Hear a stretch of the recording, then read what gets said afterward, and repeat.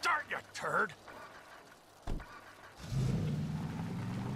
I used to be a stuntman and TV actor.